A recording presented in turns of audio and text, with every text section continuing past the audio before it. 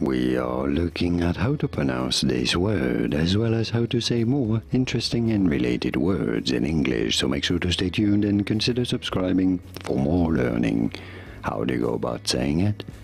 Slowly, slowly, pretty straightforward once you know.